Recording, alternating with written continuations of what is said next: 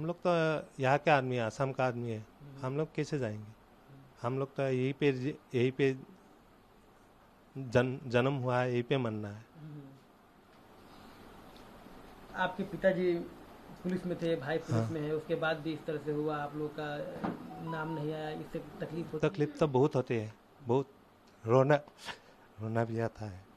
क्या करूँ? मालूम नहीं कि क्या कर रहा है।